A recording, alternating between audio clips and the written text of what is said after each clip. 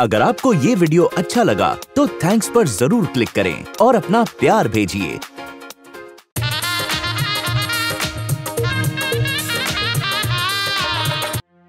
मुझे मिलने आना ही नहीं चाहिए।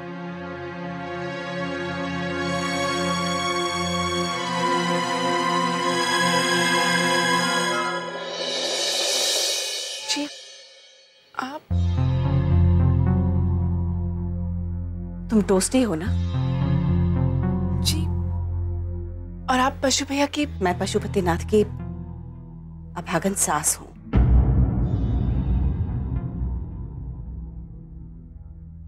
पर फ़ोन तो फ़ोन तो मालती ने ही किया था बेटा। फिर वो कहाँ है? आती होगी अभी। उसको कुछ ज़रूरी काम था ना तो उसने मुझे पहले भेज दिया। अंदर चले।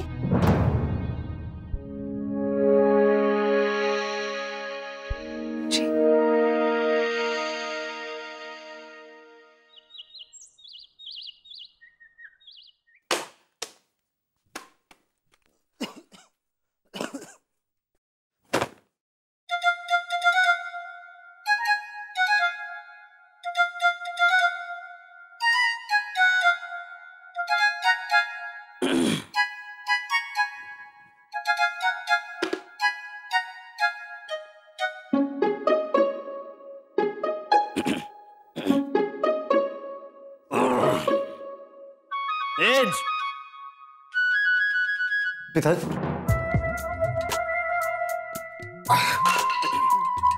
जी पिताजी। तेज। मेरी मेरी चपले का है? जी पिताजी।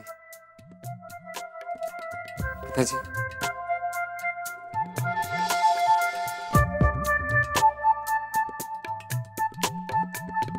क्या क्या है ये सब? ये घर है या कबाड़ खाना हाँ? वो ये भैया धूल है। अब ओए पिताजी पिताजी बनाए थे हाँ। ये कितनी रद्दी जमा करके रखी है? वेद! वेद वेद। वेद। वेद इससे कह दे कि कल रद्दी वाले को बुलाकर ये अपने सामने रद्दी तुलवाए। जी जी। और हाँ वो वज़न का कांटा अपने घर का इस्तेमाल करे। उनके कांटे में हेरा फेरी का पूरा चांसेस रहता है।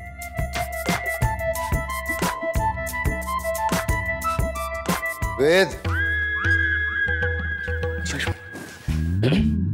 वेद इनसे कह दे। घर का कांटा खराब है। वेद इससे कह दे कि कांटा खराब है तो क्या मैं ठीक करवाऊँगा? बंद कर दो ये अखबार खरीदना। वैसे भी क्या ज़रूरत है रोज रोज के पाँच पाँच रुपए खर्च करने की? सबके भत्ते में से काटूँगा मैं। सबके भत्ते में से। वैसे भी दिन भर टीवी तो चलता ही रहता है ना? पिताजी टीवी तो सिर्फ़ दादाजी देखते हैं ना। क्यों? तेरी आँखों पे क्या पट्टी बंदी रहती है? पिताजी पट्टी तो सिर्फ़ गांधारी की आँखों में बंधी थी। गांधारी? अरे? अरे तो किसी ने सोचा ही नहीं। अगर गांधारी की आँखों में पट्टी बंधी थी तो उसने रामायण तो देखी नहीं होगी। मूर्ख। वेद वेद। पिताजी। गांधारी महाभारत का चरित्र था ना कि रामायण का। पिताजी मैं तो टीवी सीरियल की बात कर रहा था। पिताजी ध्यान से। तेज! ये कल ये मोटरसाइकिल पर सारे रद्दी रख के वो स्टेशन के पास वाले रद्दी वाले को दे देना। वामन। वामन पिताजी? नाम है उसका।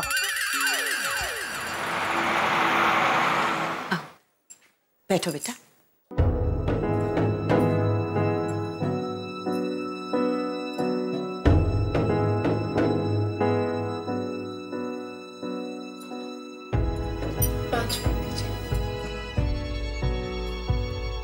मालती। मालती को तुम्हारी बड़ी चिंता लगी रहती है बेटा। जिस दिन से उसे ये पता चला है ना कि तुम्हारी शादी इस घर में होने वाली है, बस।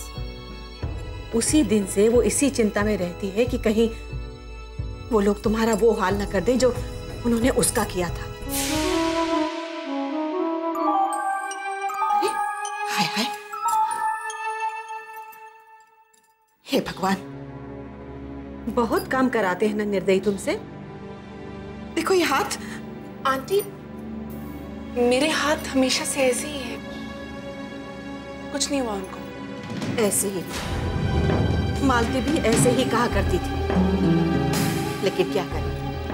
हमारे घर के संस्कार ही ऐसे। अरे, हमारे घर की लड़कियाँ अपने घर की बात किसी को नहीं बताती। अपने माँ बाप को भी नहीं। पता है कितना काम करवाते थे मेरी बेटी से? सात सात लोगों का खाना, झाड़ू पोछा, कपड़े, बर्तन। एक दिन भी चैन की सांस नहीं ली मेरी बेटी ने उस घर में। चलो, इतना सब होने के बावजूद अगर उसे प्रेम प्यार पूरा मिलता ना तो भी जैसे तैसे वो अपनी ज़िंदगी वहाँ काट लेती लेकिन तुम ही बताओ बेटा जब किसी औरत को पति का प्यार पूरा ना मिले तो वो मुफ़्त में अपनी ज़िंदगी क्यों खटे वहाँ पर? लेकिन किसी एक को तो आवाज़ उठानी पड़ेगी पिताजी। इसकी हिम्मत है मेरे बेटे के सामने आवाज़ उठाने की। दादाजी।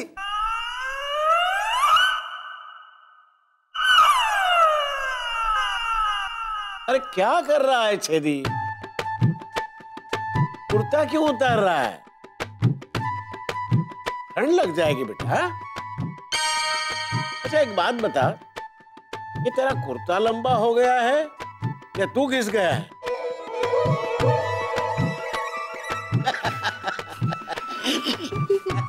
क्या हो क्या रहा है भाई? दादाजी ज्ञान पिताजी बना है। पिताजी बनना बड़ा मुश्किल है दादाजी। ये तू मुझे बता रहा है? दादाजी बनने से पहले मैं भी पिताजी रह चुका हूँ बेटा। दादाजी। हाँ बेटा। बड़ी अजीब बात है। आप हमारे पिताजी के पिताजी हैं। फिर भी हमें आपसे बिल्कुल डर नहीं लगता और अपने पिताजी से उतना ही डर लगता है। चलो हम कमरा साफ़ करें भैया। वरना पिताजी आ गए तो हमारी धुलाई हो जाएगी। और आपको तो पता ना कि आज पिताजी को डिस्चार्ज मिल सकता है। और अगर पिताजी से पहले टोस्टी भाभी आ गई ना तो पता है दादाजी वो क्या कहेंगे राजीव ये पढ़ाई छोड़ के तुम ये सब क्या कर रहे हो हाँ? चलो चलो चलो, चलो।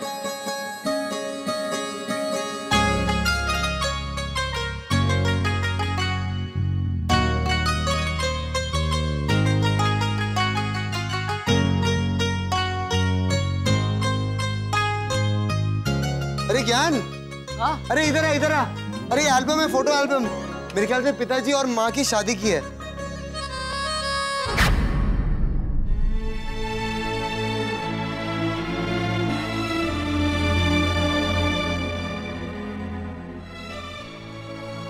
भैया? भाभी। मैंने हमेशा ये कोशिश की भाभी कि चाहे कुछ भी हो जाए मैं आपके खिलाफ एक एक शब्द नहीं बोलूँगा। मुझे लगा था कि सब कुछ ठीक हो जाएगा। हम फिर से सब वैसे ही रहेंगे जैसे आपकी शादी के कुछ दिन बाद तक रहते थे। पर आपने और आपने मेरी वो उम्मीद भी तोड़ दी भाभी। आपकी वजह से, आपकी वजह से पशु भैया मुस्कुराना भूल गए। पिताजी को दिल का दूसरी बार दौरा पड़ा सिर्फ़ आपकी वजह से भाभी। I hate you I hate you भाभी। भैया, ये यादें ये यादें पिताजी से जितनी दूर रहे, उतना अच्छा है।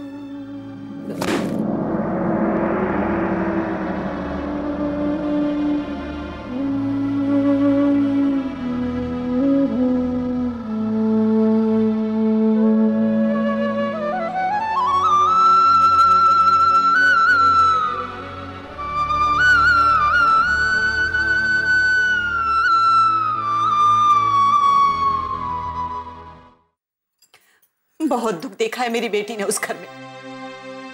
बहुत सताया है उन लोगों ने उसको। आंटी। माफ़ करना बेटा। जब भी उन दिनों की याद आती है ना तो आँसू अपने आप निकल आते हैं। क्या क्या सपने देखे थे हमने अपनी बेटी के लिए। जब रिश्ता लेकर आए थे ना तो कितनी बड़ी बड़ी बातें की थी इन लोगों ने। राज करेगी आपकी बेटी हमारे घर में राज। सिर पे बिठा के रखेंगे हम उसको। हमारे घर में बेटी नहीं है मालती के आने से बेटी की कमी पूरी हो जाएगी। अच्छा हुआ भगवान ने इन लोगों को बेटी नहीं दी। तो पता नहीं क्या हाल करते जालिम उसका। अब ये क्या बोले जा रही है और क्यों बोले जा रही है? मुझे मुझे कुछ समझ में नहीं आ रहा। मुझे यहाँ पे मालती जी ने बुलाया। कहाँ है वो? मुझे जाना है मुझे देरी हो रही है। प्लीज़ आप बेटा आ जाएगी वो।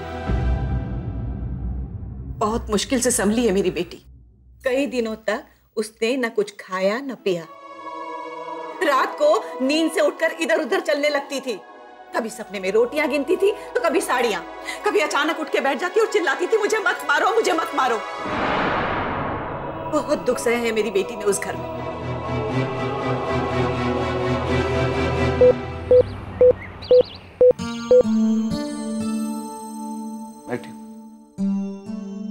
चैन की सांस लीजिए। चैन की सांस तो मैं तब लूँगा ना डॉक्टर जब आप मुझे छोड़ देंगे यहाँ से। मैं बिल्कुल ठीक हूँ। ये बात मैं आपको बताऊँगा या आप मुझे बताएँगे? क्या बताऊँ आपको? ये शादी का मौसम है। अब भीड़ लगी होगी मेरी साड़ी की दुकान पे। बच्चे अकेले सब कुछ नहीं संभाल पाते। मुझे जाना ज़रूरी है वहाँ। आप जानते हैं कि आपको दिल का दौरा पड़ चुका है। किसी भी तरह का स्ट्रेस आपके लिए खतरनाक हो सकता है। सिस्टर फ़ाइल दिखाइए। बड़े बुज़ुर्गों ने कहा छेदीलाल चतुर्वेदी जी कि चिंता चिता समान होती है। इसलिए आप चिंता करना बिल्कुल छोड़ दीजिए। बिल्कुल। भाई जान है तो जहान है हम्म? रिपोर्ट तो ठीक है लेकिन इन्हें आराम की सख्त ज़रूरत है। हाँ तो मैं आराम ही तो करना चाहता हूँ ना घर जाकर। बहुत दिन से घर पे आराम नहीं किया। और घर वालों के साथ कुछ दिन बिताने का मौका भी मिल जाएगा। अरे नहीं नहीं छेदीलाल चतुर्वेदी जी जितनी अच्छी देखभाल हॉस्पिटल में हो सकती है उतनी अच्छी देखभाल घर में कहा? और जैसी लूट यहाँ पे चलेगी वो घर पे कहा? मेरा मतलब है मैं यहाँ लेटे रहने के दो हज़ार रुपये प्रतिदिन दे रहा हूँ। वो तो बच जाएँगे ना अगर घर पे रहूँगा तो। तो आप आप मुझे डिस्चार्ज करिए देखिए इसके लिए हमें अपने सीनियर डॉक्टर से बात करनी होगी। उसके बाद ही हम कुछ बता पाएँगे आपको। मैं क्या कहता हूँ डॉक्टर साहब? क्या है? मैं जानता हूँ आपको। आप बड़े होनहार डॉक्टर है। आप ही तय कर लीजिए डिस्चार्ज कर दीजिए मुझे। पिताजी पिताजी पिताजी। आप आराम करिए ना मैं हूँ ना मैं डॉक्टर से बात करता हूँ। डॉक्टर साहब। एक काम करना होगा। मुझे इसके लिए एक टेस्ट और करना होगा। अगर वो नॉर्मल है तो आप लोग इन्हें घर ले जा सकते हैं। यहाँ यहाँ पढ़ा हूँ तब से पचासों टेस्ट कर चुके हैं ये। अब एक टेस्ट और, उसका भी पैसा देना पड़ेगा। तेज, इतनी सारी जब टेस्ट हमने करवाई है तो एक काम करना, वो हमारे वहाँ दुकान में कैसे हम दस साड़ी लेने पे एक साड़ी मुफ़्त में दे देते हैं? वैसा उनको बोल, ये एक टेस्ट मुफ़्त में करवा दे। काम का, पैसा यार। आप अगर इसी तरह एक्साइट होते रहे तो आप कभी डिस्चार्ज नहीं हो पाएँगे टेस्ट ठीक आएगा ही नहीं। लेट जाइए लेट जाइए प्लीज़ आराम करिए प्लीज़ प्लीज़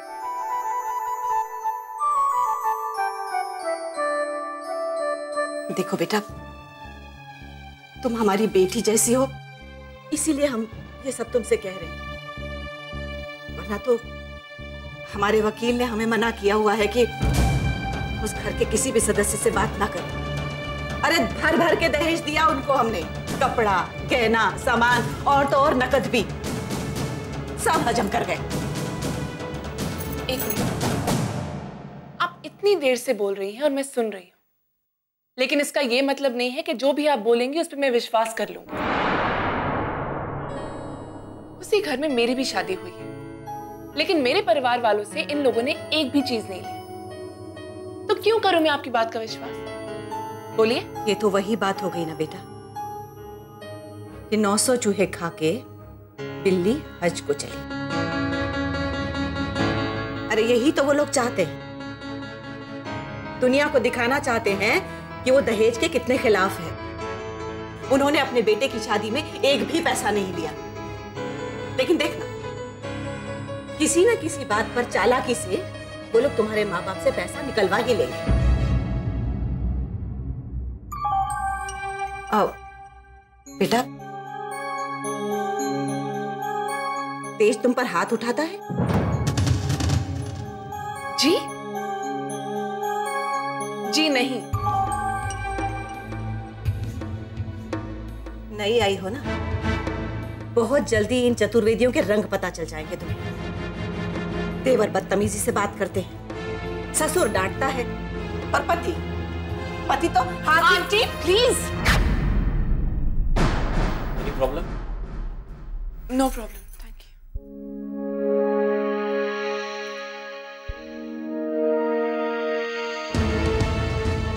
मैं अच्छी तरह से जानती हूँ कि पशु भैया गर्म मिजाज के ज़रूर हैं। लेकिन वो ऐसे इंसान नहीं है जो अपनी ही पत्नी पे हाथ उठाए जिस तन लागे सोई तन जाने। आपने मुझे यहाँ क्यों बुलाया? ये सब ये सब बेकार की बातें सुनाने के लिए। ये जानते हुए कि मैं उस घर की बहू हूँ। आप यहाँ बैठकर मेरी फैमिली की इंसल्ट कर रही ऐसी वैसी बातें कर रही हैं, आप क्या एक्सपेक्ट करती हैं? मैं ये बैठ के सुनूं, उन पे विश्वास करूँ? वैसे आंटी, मैं आपकी इंफॉर्मेशन के लिए बता देती हूँ कि वहाँ मुझ पर कोई हाथ नहीं उठाता और ना ही किसी भी प्रकार का बुरा सलूक किया जाता है मेरे साथ।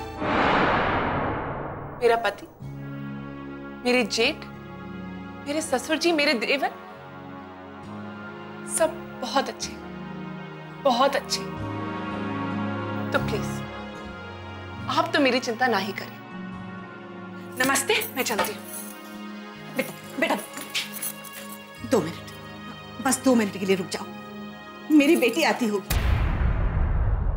एक बार एक बार बस उसका चेहरा देख लो। उससे उसका दुखड़ा सुन लो। उसके बाद तुम्हें मेरी सच्चाई खुद ही पता चल जाएगी। और फिर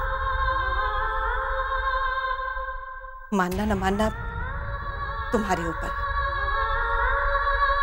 रुक जाओ बेटा।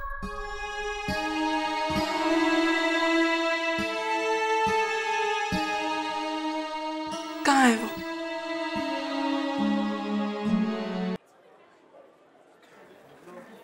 अर्षद भाई, साढ़े तेरह लाख रुपए का पेमेंट बाकी है, अगले हफ़्ते तक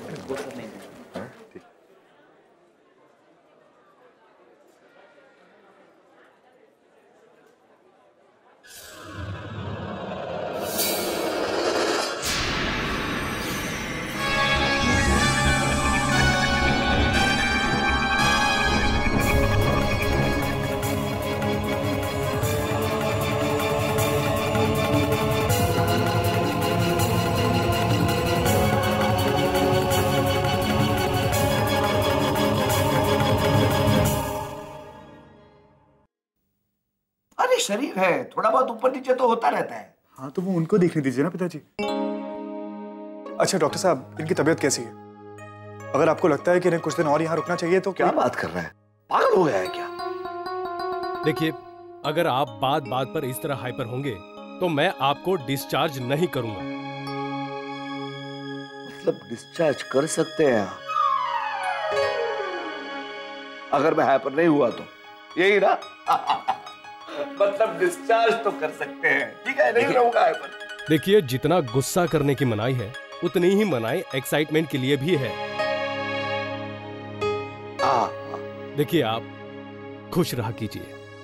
टेंशन और स्ट्रेस दोनों ही मेजर कारण हैं हाइपरटेंशन और हार्ट की डिज़ीज़ के लिए। अब आप घर जा सकते हैं।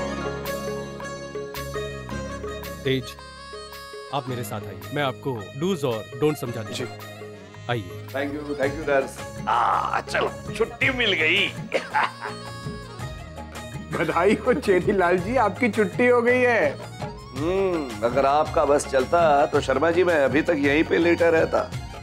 या फिर कहीं ऐसा तो नहीं है शर्मा जी कि आपको ये डर है कि मैं घर पे रहा तो आपकी बेटी का काम बढ़ा दूँगा?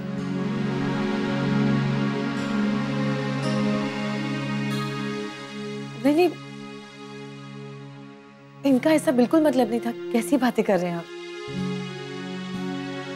इनका मतलब तो ये था कि देखिए देखिए कितनी सीरियस हो गई। मैं मज़ाक कर रहा था। आपने तो डरा ही दिया।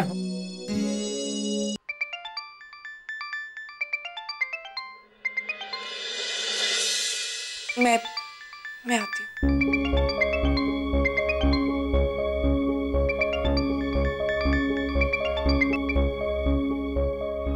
तेज हेलो हेलो टोस्टी टोस्टी कहाँ हो तुम? वो एक्चुअली अब क्या हुआ? कुछ काम था? पिताजी को आज फाइनली डिस्चार्ज कर दिया। आज दिन भर पिताजी सवाल ही पूछते रहे कि भैया कब मुझे यहाँ से निकाल रहे हो? इतनी देर तक क्यों लिटा के रखा है? इतने पैसे क्यों लेते हो? ये हॉस्पिटल है या होटल है? बच्चे बन गए थे पिताजी भी। थैंक गॉड माँ मैंने तुमसे कहा था उस लड़के को फ़ोन करके यहाँ बुलाने की कोई ज़रूरत नहीं है। चलो यहाँ से जल्दी। क्या बात है बेटा तू इतनी परेशान क्यों लग रही है? माँ वो लड़की यहाँ अकेली नहीं आई है। खुशी को भी अपने साथ ले आई है। अब चलो। क्या? हाँ माँ अब चले। बेटा अरे उससे एक बार मिल तो ले। पागल हो गई हो माँ। बहुत हो गया अब। चलो।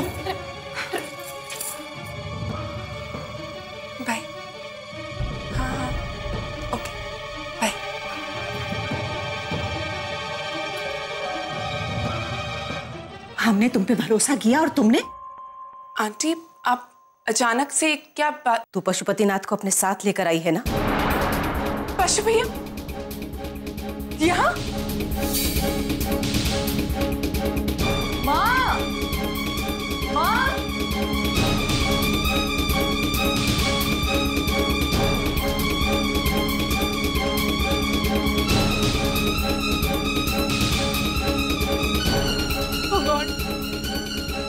शुभिया ने मुझे यहाँ देख लिया तो।